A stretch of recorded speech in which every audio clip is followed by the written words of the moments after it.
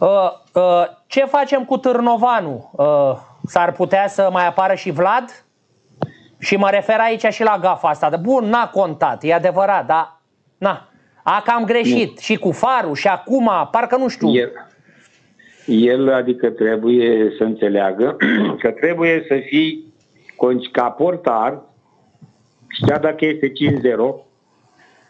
trebuie să fii concentrat la maxim, până la final. De ce?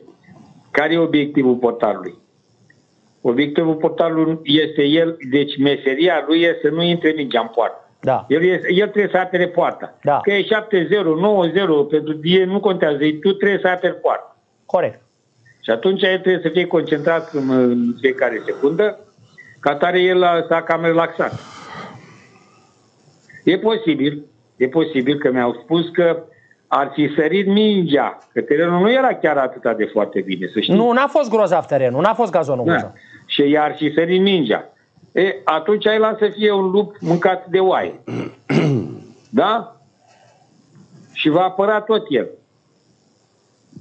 Dar ah. după aia, dacă cumva, Doamne ferește, să nu fie, greșește, la revedere, schimbat. Ei da, că știi cum e, trebuie să-i dai o șansă și lui Vlad. Păi nu, nu că nu-i Vlad, că nu-i dau eu șanse, că eu nu sunt să dau șanse.